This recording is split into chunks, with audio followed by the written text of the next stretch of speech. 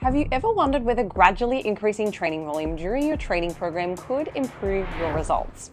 For example, imagine if you followed a six week training block with 20 sets of quad work per week. Would progressively adding sets every couple of weeks lead to greater results? Or would sticking with a consistent 20 sets throughout deliver the same outcomes? Well, let's take a look at the potential advantages of volume progression in a group of trained women. Recent 2025 study by Enes and colleagues carried out at the University of Tampa compared three different volume protocols in recreationally trained females. One group performed a constant weekly set volume for the quads over the course of 12 weeks with 22 sets per week. Another group increased their weekly volume by two sets every two weeks and they started at 16 sets. And the third group increased their weekly volume by four sets every two weeks, and they started at 18 sets per week. Now, to help this all make sense, I've included a graph to illustrate the progression of weekly sets over the 12 week study period. By the end of the intervention, you can see that the three groups performed either 22, 26, or 38 sets respectively. The weekly sets were spread across three quad focused exercises the leg press, the squat, and one of my personal favorites, the leg extension. Since proximity to failure plays a crucial role in muscle growth, the first two sets of each exercise were performed with around two reps in reserve.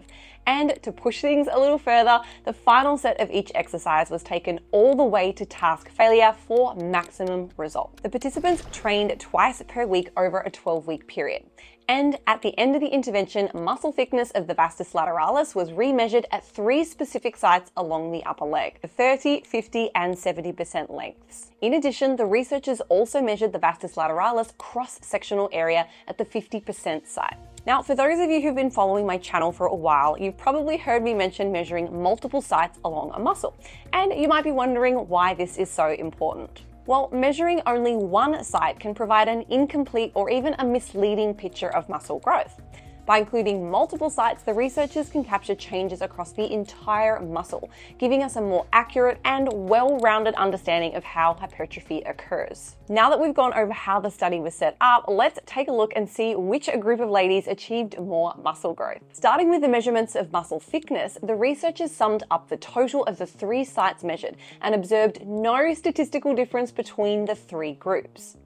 Now, just to make this super simple to understand, this means that all three groups achieved similar muscle growth after 12 weeks of training, regardless of the volume progression protocols used. However, based on the cross-sectional area data, and remember this was at the 50% site, the researchers observed a non-linear dose-response relationship between volume and muscle growth. So what does that actually mean? Yes, I'll give that to you in English. Thank you.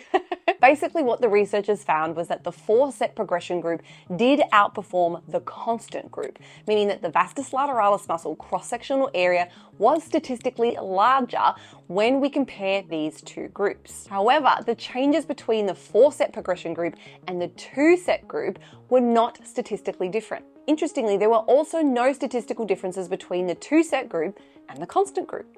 So, what does this all mean, and how should we be structuring our workout programs to maximize muscle growth? Well, before we all go racing off to increase our training volumes periodically, just like it's carried out in these studies, it's important to note that the previous research on this topic is somewhat conflicting. For example, another study by the same group of researchers found no added benefit when periodically increasing weekly set volumes compared to a constant volume group for summed muscle thickness measures. This previous study was conducted in males and explored even higher volumes than the present study, with the highest volume group working all the way up to 52 sets. Therefore, the differences in the population and the overall volume could possibly explain some of the differences between these studies. Regardless, taking these two studies together may warrant caution as to whether or not one should program periodic increases in training volume. That said, we also have to address the limitations of both these studies. For example, both studies lacked a non exercise control group. Now, including a control group would allow researchers to assess the reliability and validity of their measurement tools and ensures that any changes observed are a result of the intervention and not some other variable. Furthermore, this study only involved weekly volume of a single muscle group, the quads, and does not consider all other muscle groups being trained. Unfortunately, this limits the applicability of these research findings to real world full body training programs, not to mention the major time constraints of performing such high volumes for whole body training. Ultimately, the question we all have to ask ourselves is is the juice worth the squeeze? So, here are my final takeaways. Number one, make sure that you start with an adequate baseline volume.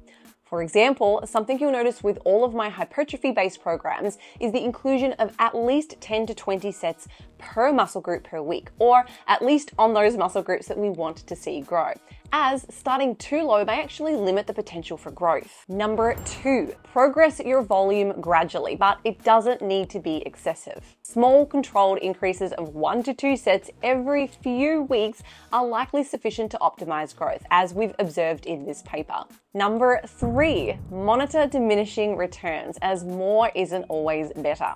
Watch out for signs of overtraining like excessive muscle soreness, fatigue, and reduced performance. These may indicate the program has exceeded your ability to recover. Number four, take an individualized approach as some people tend to respond better to higher or lower volumes. Personally, I start out with a moderate approach and I adjust volume based on an individual's progress, feedback, and recovery. And number five, focus on overall progression, not just set volume. And here's why. While we know that volume is important, it's only one factor for muscle growth. Consistently increasing your load, improving your exercise technique, and maintaining a high level of effort or your proximity to failure are equally critical for long term growth. Now, if you're looking to take your fitness journey to the next level, consider exploring BiaFit, our comprehensive, evidence based workout app designed to cater to all levels. With hundreds of programs available, you can choose routines that fit your goals, whether you're working out at home or in the gym.